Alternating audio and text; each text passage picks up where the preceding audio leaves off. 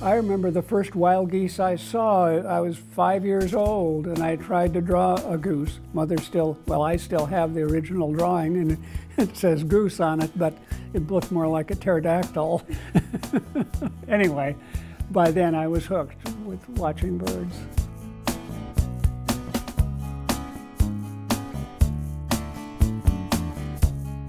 I couldn't imagine that there could be that many cranes and no one had ever written about them.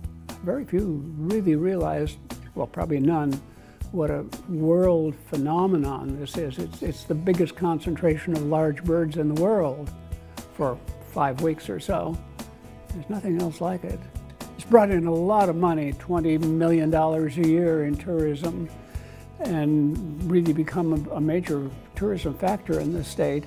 Uh, it's annoying because people are crowding into the areas I used to have by myself. now I can't be alone with the cranes.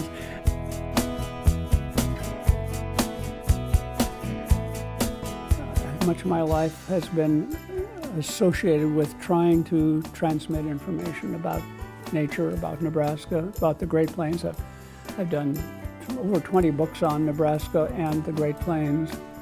So I think that's been a major concern to make people realize how valuable this area of the country is and how valuable nature is.